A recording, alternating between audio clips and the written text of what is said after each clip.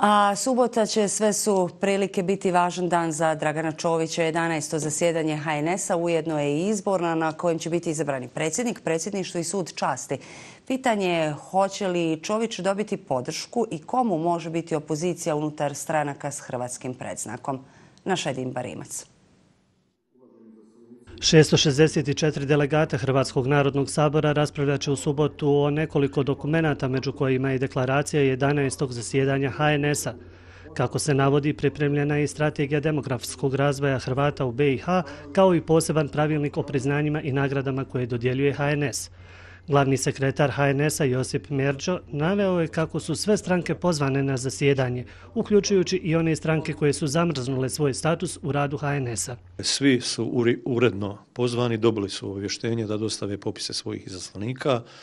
E, mi ćemo imati ovaj put još jednu političku stranku, jednu malu pravašku stranku iz Tomislavgrada koja se također opredijelila da bude dio Hrvatskog narodnog sabora, tako da će sve stranke koje prepoznaju Hrvatski narodni sabor kao krovnu organizaciju ili asocijaciju za političko djelovanje u Bosni i Hercegovini od strane Hrvatskog naroda moći sudjelovati. Ipak neće svi doći. Predsjednik Hrvatske republikanske stranke Slaven Raguž ističe da ova stranka neće mijenjati mišljenje ni stav kada je u pitanju HNS. Dobili smo i, i, i, i, i poziv i pozivnicu službeno i ja sam već uh, ispred Hrvatske republikanske stranke rekao da HRS neće sudjelovati u radu HNS-a, odnosno da se naš stav nije promijenio još od 2019. godine kada smo uh, rekli što smo, što smo imali reći uh, po pitanju te institucije a rekli su da su razlog za neučestvovanje između ostalog nedemokratske metode funkcionisanja i vođenja HNS-a koji je prema riječima Raguža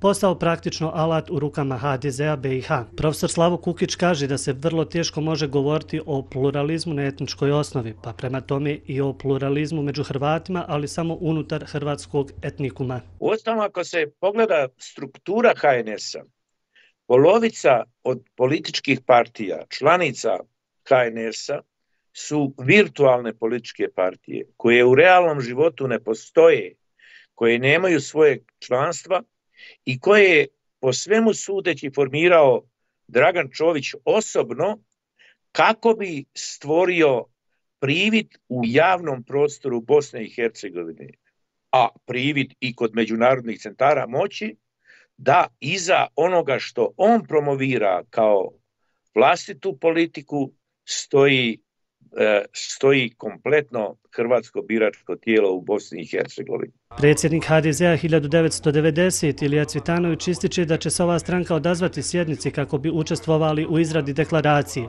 Ističe da se ne slaže u potpunosti da nema opozicionih stranaka unutar HNS-a.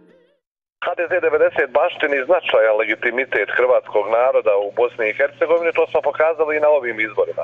Ali na temama koje se odnose na narod, koje se odnose na uređenje Bosne i Hercegovine, teško je tražiti opoziciju, jer uglavnom tu kroz HNS dođemo do zajedničkih prijedloga i zajedničkih rješenja koja svi zastupamo. Možda to ostavi dojam u javnosti da ne postoji ta neka opozicijona, opozicijona stranka. Profesor Kukić ističe da sve ono što se dogodi u HNS-u zapravo je pretakanje volje HDZ-a u volju hrvatskog biračkog tijela i hrvatskog naroda.